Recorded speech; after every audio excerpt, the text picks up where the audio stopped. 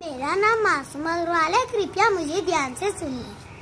संसार में जन्म लेने के लिए माँ के गर्भ में नौ महीने रुक सकते हैं।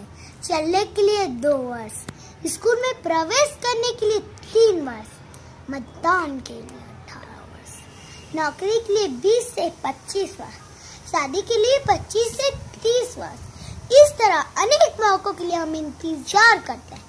पर सोचने वाली बात यह है कि हम गाड़ी ओवरटेक करते समय तीस सेकंड भी नहीं रोक सकते।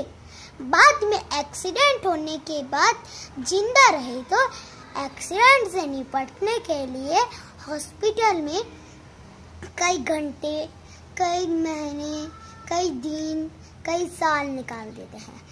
कुछ सेकंड की गड़बड़ी कितना भयानक परिणाम ला सकती है। जाने वाले तो चले जाते हैं। पीछे वालों का क्या? इस पर विचार किया कभी किसी ने?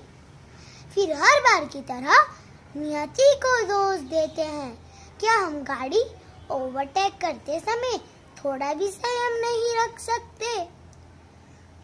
गाड़ी को सही स्पीड में चलाएँ।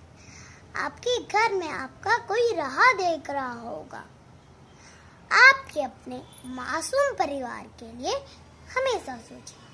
मेरी बातों पर गौर ज़रूर कीजिएगा मुझे सुनने के लिए आपका धन्यवाद।